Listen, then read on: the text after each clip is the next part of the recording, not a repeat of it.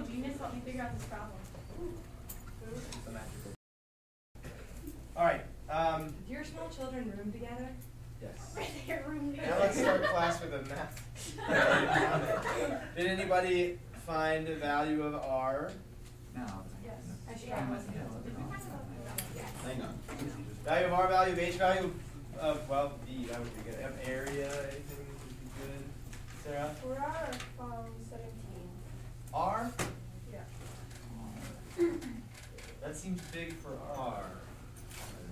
Like if we, uh, That's the same thing we got this morning, yeah, so it might be the same mistake. Oh. Uh, so the height right now is seventeen point five. If the if the radius was seventeen, That would be like. then double that would be thirty-four. That'd be a really really short. Really short. Uh, so, but also, Kendra and I worked on this this morning. I got something like seventeen, and it was a little arithmetic error that might explain it. Have to be a square. Wait, can you? Oh, did I just describe? Wow, that would be very big. Thirty centimeters? Not Thirty-four that centimeters. Okay, maybe not this big. That is definitely more than thirty centimeters. Oh, maybe. That's probably crazy. I feel like fifty. But you like, you went like this. If I think about it. Can we put that into? Since Will we you draw, it's gonna be will you draw it on the really board? big. Yeah. Will you draw it on the board? Draw like, the- like, holy Draw crap. can a cannon, like like get a ruler, draw it. please. So seriously, so like you this. can. This is a number ten can. That's about six inches. A number ten can is uh, Okay, so that's like one of the about big that big. It's like actual. It's like size. Costco size can. Will you Yeah, draw you us a seven? can. Okay. Can It's a I corn draw? can. No! Did you actually measure it? little bit bigger Yeah, I went down to the go lunch, on.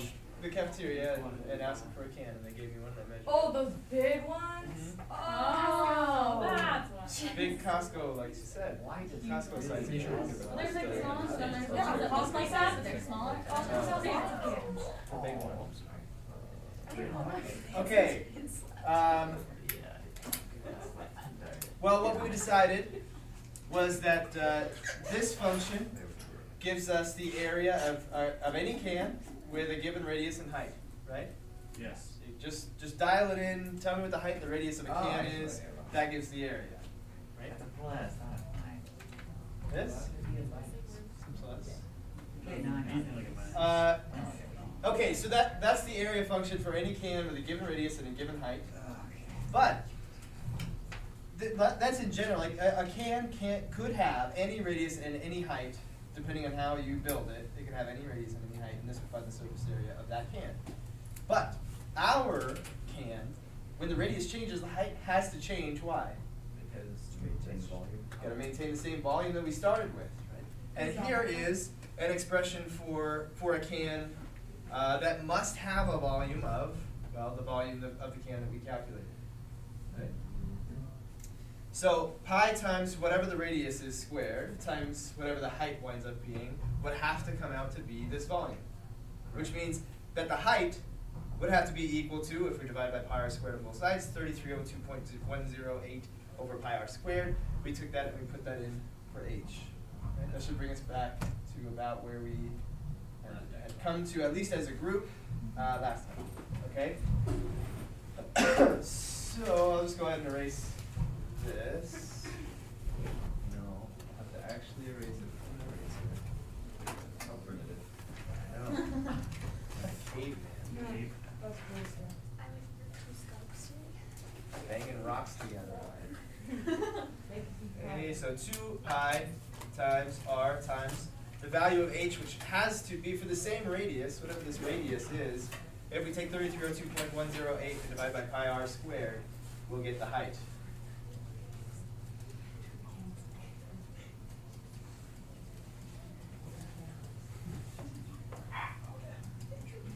Okay, so now this is uh, a fu- is, is a, a formula or a function that uh, can someone describe this? It, it shows the change in uh, the amount of surface area with the different um, lengths of radius. Let's say yes and no. It, it for a given radius of the can, a can with this much volume, and then a given radius that we choose, and therefore the height has to be a certain, you know, certain value. It will give us, this function will give us the area, the surface area of that we can. But I would say where I differ from your answer is that it's not about the change, it's about the change. Uh, Yeah, Is that a plus? this little thing. Yes, making, um,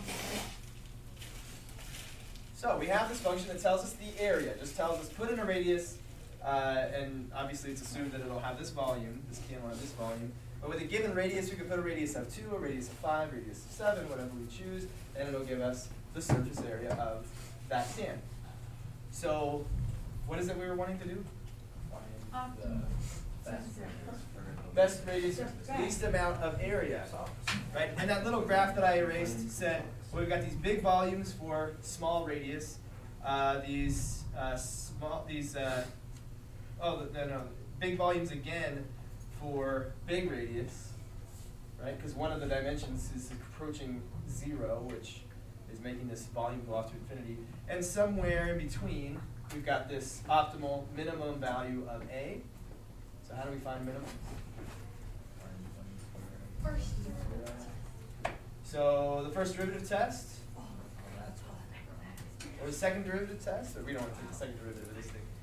So we want to take the derivative of this function, right? Yeah. But before we do that, before we throw a prime on there and start taking the derivative as it appears now, let's see if there's any way to make taking the derivative easier by making this function more simplified.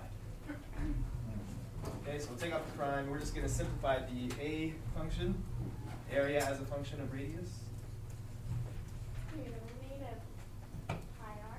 What's that? We eliminate pi. We can eliminate a pi and one of these r's. Yeah. Uh, we can also multiply this by two. Yes. Just combine those together. So we get sixty-six oh four point one one six two one six over r plus two pi r squared. Certainly a little bit easier than it was before. And I would say it's even easier to take the derivative if we look at it this way. Now it's just to a single power, and we don't have to do like quotient rule and stuff. If you do the quotient Yeah, rule, it's exactly the same, it'll all come out just fine. That's the way. Okay. Alright, so let's take the derivative. A prime of r. Not hard, not hard. No, it's about as slow as I can go. Alright, so, So we'll start with, you got a plus there, so we take the derivative of this function. Negative six thousand six hundred four point two one six R negative. Very good. Derivative of this function. Four pi r, let's, so we'll pause here for a second. Yeah, Six seven six hundred four point two one six be negative. It is negative. It is negative? Oh, I didn't see the negative. Oh, there it is. Okay, I was looking, I was looking for the, ah, yeah. Sorry, I was looking Uh, at. The big So, silly goose. for this one, remember that pi is a number, it is not a variable, it, it is a letter, but it's not a variable, it's a fixed, uh, number, meaning it's a constant. So, if we wanna take the derivative of this, it wouldn't be any different than if we wanted to take the derivative of this, right? Two would come down, multiply by the constant, uh, six, we get twelve R. Same thing over here, this multiplies by the constant, two times two times pi would be four pi, simplify it down. So, that two pi is just a constant out in front of the, the variable. Okay, so we took the derivative, and now we can rewrite this without negative exponents. Oh no. What do we have here? What is this? Derivative The derivative of the area function. Now, What are we gonna do with that derivative of the area function? Plug in that r. Improve my what? My plus. Weak. That's a board limitation. What do we do with it? Equal to zero. Set it equal to zero, because that's where the slope will be zero, or the tangent line will be flat, which means that either the area is the biggest it can be, or small, small. Is there a maximum value for the area? No. No, it just goes off to infinity. The smaller r gets, the bigger the area gets, and r can never get to zero because then we wouldn't have a can. That wouldn't make any sense. Also, we'd be dividing by zero. That wouldn't make any sense. Um, so yeah, it just goes off to infinity. And uh, if r were to increase without bound, we can look up here at this function. Then this part would go to zero because r would be so big, but then this part would be going to infinity. Right? So there is no maximum value of a that we can conceive. So if we find a zero slope, it must be a minimum If it's an extreme at all. if it's an extreme at all, yeah. I would say because we understand the situation, because we understand the scenario, we've made this function. It represents something in real life. So we know that it's got to there's got to be a minimum to this scenario, right? So it's a safe assumption that the zeros we find will be extrema. Um, well, it's safe to say if we find one uh, r value, it gives us an extreme, a maximum, that it is a maximum, that well, that it is a minimum. There is no maximum? That's kind of the, the beauty of a real life scenario that we designed the function for. We know it has to have certain properties. Because we've made it, and it represents a real life scenario, and we know what the real life scenario, like parameters of it. Anyway, so we're gonna set it equal to zero, and solve for r. Get the denominator of r squared. I'm gonna do the rest of the lesson without you. Impossible. Get Ryan's board. Ugh. Be broken. Not gonna work. Okay, um, so we got this denominator of r squared. We don't like those denominators with variables, and then what can we do about it? Multiply. Multiply by R squared. r squared. I like it. Multiply both sides by r squared.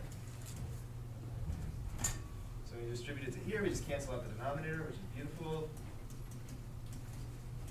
And when we multiply by over here, we get four pi r cubed zero.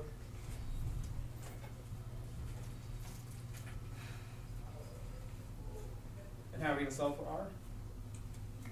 Add six thousand. Okay, add that thing, yeah, four pi r cubed equals six thousand six hundred four. Six, by four pi r cubed equals six thousand. Over four pi, take the cube root. You have to write it this big, it's really tiring.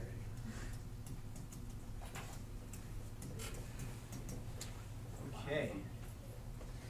So the cube root of that number is what? Sixteen point one four. Cube. Girl, that's what you told us. No, never mind, eight oh seven. Okay. Eight point zero seven. Say approximately. So we found a radius. Like everything is all locked in, right? And the, the diameter has to be something. The height has to be something specific. Okay. So what's the diameter? Sixteen point zero.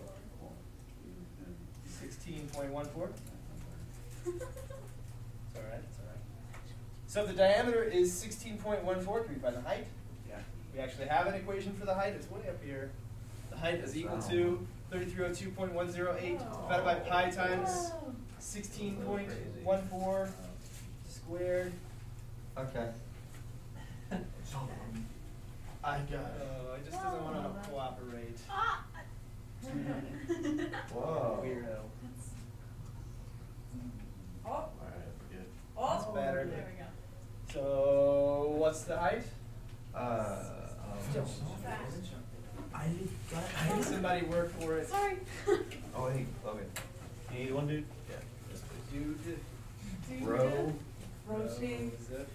I like your jacket, Logan. Thanks. Hey, when Girlfriend. did you go skiing? Was that last year? Let's go, let's go, let's go. Get some calculators. You can talk about some Oh, later. Leo without your luck this year. This is I got a job. Who's got the height? You totally Said Kim. Sixteen. I really don't get how you. Sophie? Exactly. One Four. four? Oh my gosh. One four. One- No, that's not right, that's not right. Thirty-four. Whoa. Should be, well, should be the same as the diameter, isn't that odd? interesting. So if you were to look at this can from the front, exactly the front, what would it look like? It would be like squarish. It would look like a square. Now it wouldn't be as cute because if we turn and look at the top, it would be a circle. But for- Dimensional image of it. for So what do you think? If I gave you a can that had a given volume, how would you imagine you find the optimum dimensions? You'd make it as compact and even as possible, because if you have the radius too small, then it's uh-huh. tall and narrow and just oblong, Yeah. wasted space, but if you make it as square, it's, everything's as compact as possible. Kind of makes sense. So why are number ten cans uh. That's a good question. Why is that? Maybe because there's more. Because companies don't know calculus, they stack probably. Maybe because of the metal that you use in, in the lids, or maybe they found that uh, customers buy more number 10 cans if they are a little bit taller than they are wide, or maybe it's just they didn't consider these things when they started making these cans, and it's just tradition, or They don't care. that's That means- maybe they need the extra room to print things on the labels. I don't know, uh, but it's it's Ooh, interesting. labeling, yeah, that's. If the case, imagine soda. It'd be what? That would be cool. Soda can, yeah, soda can. Right. It'd be, it'd be cool up until you try to use a cup holder and it just disappears. but- There's, uh, Where you have this giant square. Yeah. Brian looks like a hobo. It's just awkward the whole. Um, there are some soda cans now that are like less Yeah. less soda. They're That kind of squarish. Those are the most- And then they have the twenty ounce ones that are like ridiculous. Really tall. Yeah. So clearly, hardly any cans. They're if closer. They're closer. Hey, Sorry. we're on me now. Oh, sassy. Uh, so I haven't seen any cans that I, that I can think of that, that are shaped this way. So it seems no can manufacturers are considering what like is cheap the cheapest can to make. So we should write a letter. These Oh, dum Maybe dums. they- maybe that's a good- Have you ever thought about Dum that? dum chum chum. Thank you. Okay, well let's do one more example like this from the book. Okay. I agree. Oh. It's how you fund your This was entire easier life. than I thought it was Well, gonna be. maybe it's every weekend. So it's like- What's the seriously? You guys are you're you're you're about to get on the nerves. Sorry. But get close. Oh, Don't say that. What is the hardest part about this problem? At first, What it was just like, finding a problem numbers. put in for you. Yeah. Figuring out that something needs to be Where to re- start? so that H need to be replaced with something. Well, like you know that it needs to be replaced, but then you told us that we can't put the surface area formula into there, Uh-huh. and it needs to be the volume formula. This would be kind of inception if we solve for H with the area and then put it back into itself, right? It's kind of be folding in. So. You would just get like two equals two or one equals one or something like that if you tried to solve it. Because you'd basically be putting one thing. Yeah, it's it's hard to explain. You try it. You could try it with a simpler equation, like any equation, two x plus y equals five. If that's all the information you have, you can't really solve for x and y. Right? X and y could be anything, almost anything, as long as in this equation they add up to five. Uh, you need another equation with other parameters making other demands on x and y to tell you what one or the other should be depending on the other one. Does that make sense? So we just solved for y here. We got y equals 5 minus 2x. And then we plug this back into there. So the equation's folding in on itself. And we get 2x plus 5 minus 2x equals 5. See how everything just starts to cancel out you try to solve for x? If 5 equals 5, then you can make it anything that's true. 0 equals 0, 5 equals 5, 1 equals 1, 0 equals 2. Okay? That's why you can't just do that. This is just really, what we have here is a system of equations. Remember systems of equations? System of two equations and two variables. The two variables are R and H. The two equations are the one for area and the one for volume. We solve for one, replace it in the other. Substitution, substitution method.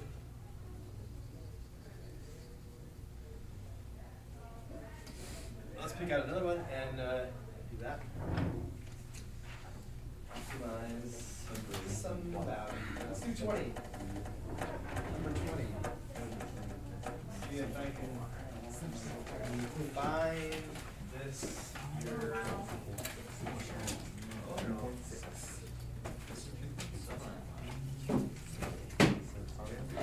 Three.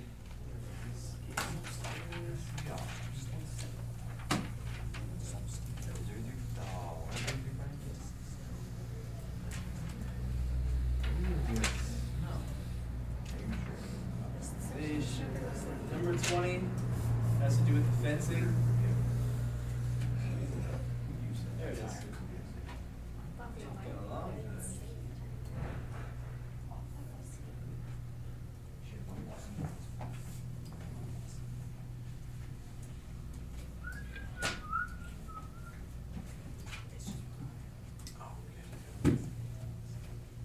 Uh, So just go ahead and, um, attack it on your own, try to think, what approach should I use in the can problem? Are we gonna have two equations and two unknowns, cause it's like it needs, the, the different measurements, x and y, are gonna have to meet different parameters.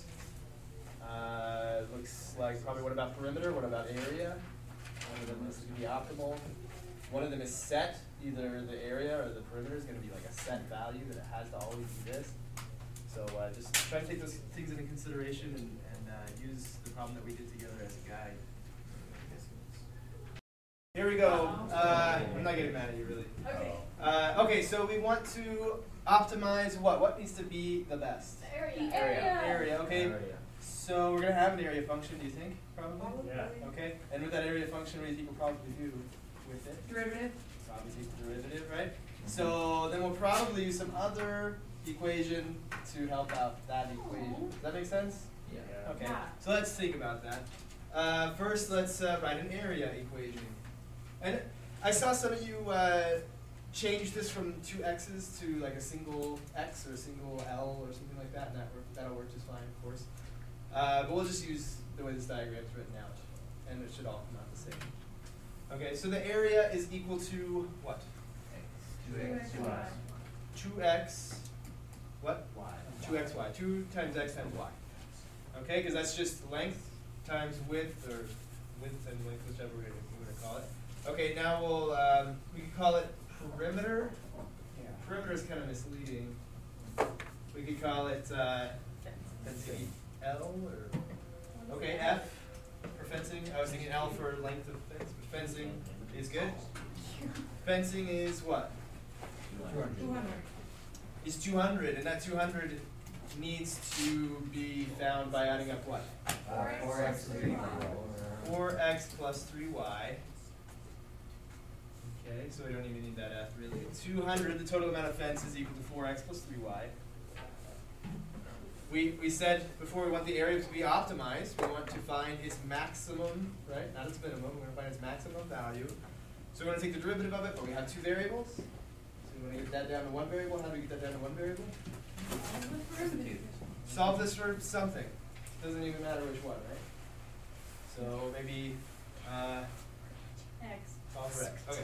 So two Or no, hundred Y, sorry. minus, okay, for y, minus four x over three is equal to y. So the area function, now it's a function of x,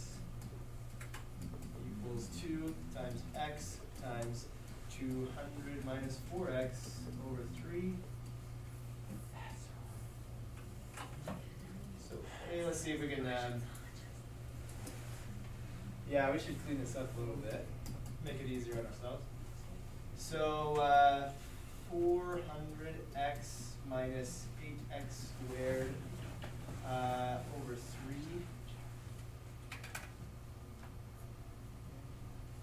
And we can make it we take the derivative, we could look at it like this. Let's make it a little easier too. Okay, so a prime is, well, we have the constant multiple rule telling us we can just take one third times the derivative of this.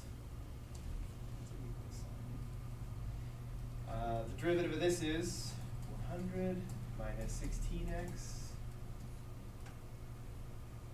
And what do we do with this derivative? Set it equal to zero because we want to find the slope of the area function would be zero. At some point, the area function, as say as x gets bigger, the area is going to get bigger and bigger and bigger and bigger, but then eventually x will be too big, and it'll start like taking away from the values that y could be, and it'll bring it back down. It back down. So at some point, we're going to have a maximum value of the area.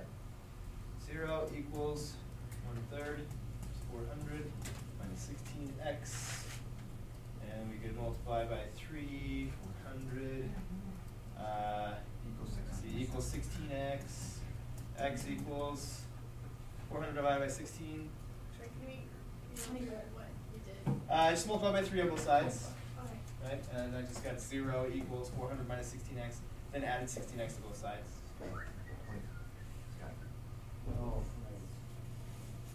Just 400 divided by 16? 25. So x is 25, which means this is also 25, which means this side is 50. And this side is also a 25 and a 25.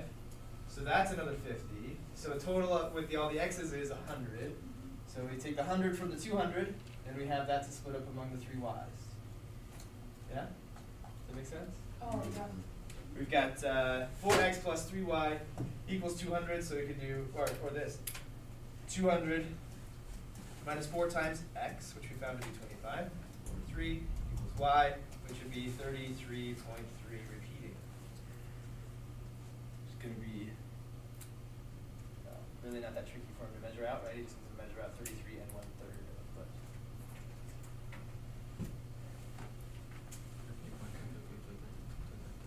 So you can see there's going to be a function that you want to optimize, which means you're going to take the derivative of it. There's going to be some other function which has some other parameters on it, like the total fencing you have can only be this much, or the total volume of the can can only be this much, or the total uh, amount of paper you have to work with is this much, or whatever. And you'll take the one and solve for a variable, put the variable that you solve for into the other function that you're to take the derivative of.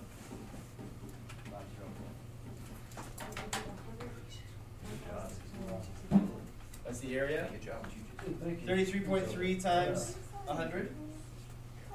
So it's not too hard, once you figure it out. There is a, a pretty set blueprint to these, and it's probably an easier blueprint. times fifty. Times fifty? Oh yeah, I'm sorry, times fifty.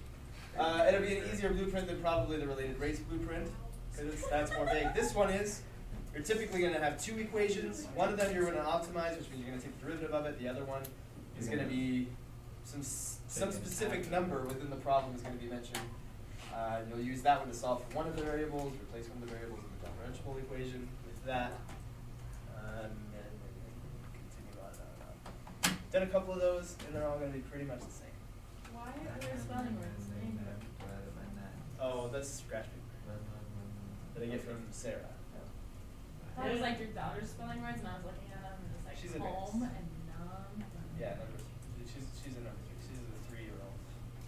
Yeah, Uh, yeah. she's really good. She's really- She can count to two. She's listening. Are you gonna have another child? How many more? Ah, she's listening. She's listening. Do you hope to have a boy? You don't care? To have healthy children. I know somebody who named their boy Lev. She's listening. Hello? Three letters. I've got, No, because the wife's name was Does it add like seven. No, the wife's name was seven letters, the husband's was six, the first daughter was five, the second daughter was four, Lev is three. What are you gonna name your next Hi. That's what I was about to say. Hi. Two letters, what are you gonna do Could with be that? that. I've got, Yeah, hey, but yeah, that lady just named her kid Obi. Hey. I've got a friend that has. What diesel is on up? It's Monday and it's snowing and we It just want to be. Christmas What Saturday up, that the snow is? I maybe we just It do like some jumping It's jacks so fluffy. I'm gonna try. I have a lot of energy.